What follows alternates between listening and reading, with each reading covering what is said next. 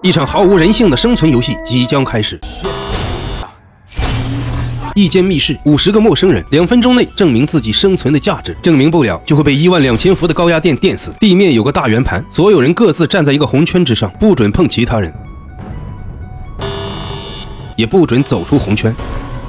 红圈周围布满箭头，分别指向周围的人。两分钟投票一次，票多者会被电死拉走。出掌为选择，握拳为确认。看似简单，实则以命相搏。那么这场人性的博弈，到底谁才能活到最后？一个小伙率先发话，他建议把票投给上了岁数的老人，毕竟他们也活不了多久了。有人赞成，有人反对，最终老人还是被投死了。接下来又连续送走几个老人之后，问题出现了：多大才算老？七十六十还是五十？现场的大多数中年人开始抗议，这么轮下去，不久就会轮到他们。小伙引发众怒，被。直接投了出去，游戏陷入僵局。他们开始自我介绍，有的是夫妻，还有的是情人。看来有不少人都相互认识。一个纹身男引起了一位警察的注意，他有家暴的前科，警察抓过他。警察向众人说出他的劣迹，结果大家都做出了选择。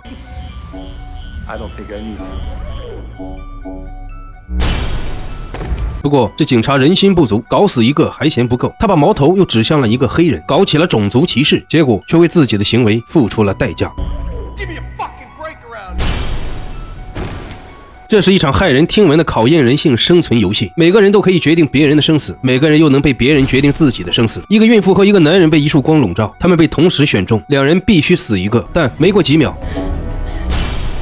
大家有些疑惑，为什么死的会是他？黑衣小哥说话了，他刚刚看到男人将票偷偷投给了孕妇，违反了当初的约定，所以小哥将死票投给了男人。票不能投给自己，那么最终将只有一个人能活。最有可能活下来的，很有可能是这个孕妇或者一旁的十岁小女孩，因为孕妇和孩子嘛，在正常情况下更应该得到保护，但这不是正常情况下，每个人都应该享有生存的机会。这时倒计时结束，小女孩和一个老妇被选中，但小女孩活了下来。接着下一轮到了，这一次有三个人被选中：孕妇、小孩、男人。男人急了，大喊着让孩子。和孕妇去死，结果他被踢出局外。接下来每一轮都有人投给孕妇和小孩，但两人都还活着。似乎有人于心不忍，事情陷入尴尬期。这时，一个男人提出一个疯狂的想法，问是否有人自愿牺牲。结果还真有一个，一个十六岁的小男孩站了出来。与其悄无声息的在心里杀人，倒不如一死了之。这是这个孩子的觉悟。可这时，一位黑人阻止了男孩，替男孩牺牲了。但当黑人牺牲后，大家再次将目光投向了男孩。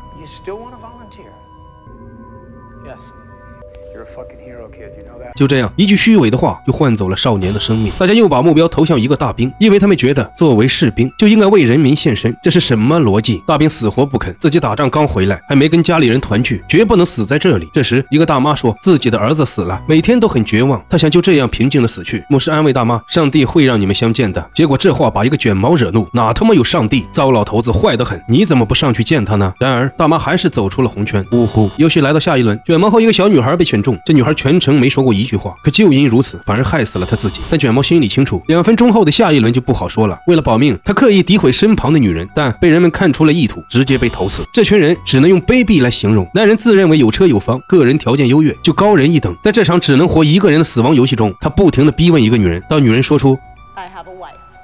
男人露出了得意的表情，他认为这场游戏是要找出最该死的那个人才会结束。女人的行为他觉得很卑劣，所以投了女人。不过相比而言，男人对他人的肆意审判更为可恶，他被所有人投了出去。一个男人又说出了一个问题：投票不能投给自己。如果这场游戏注定只能活一人，当最后剩下两个人的时候，那么必须得有个人自愿牺牲才行啊！就算孕妇和小女孩，最后也只能留一个。说了这么多，男人其实是想先投死这两人，因为这个问题有的赞成，有的反对，双方争论不休，也慢慢分成了两派。可每轮时间。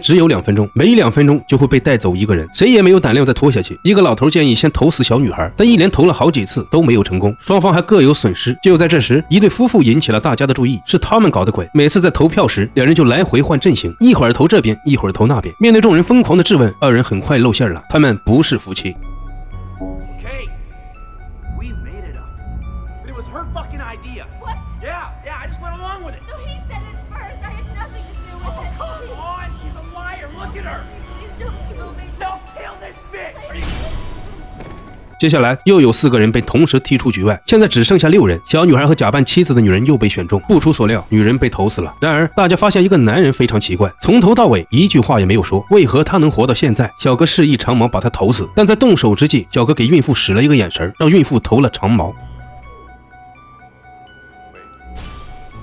再则就是那个一句话也没有说的男人。这一刻，人数只剩下三个人了。小哥自告奋勇说要自我牺牲，他让孕妇和女孩选出一个跟他一起走，因为这场游戏只能活一个。经过再三纠结，女孩做出了选择。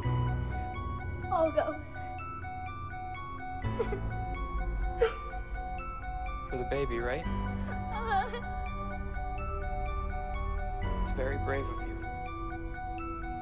What's your name? Katie. Okay, Katie. We'll go together. Okay? Okay.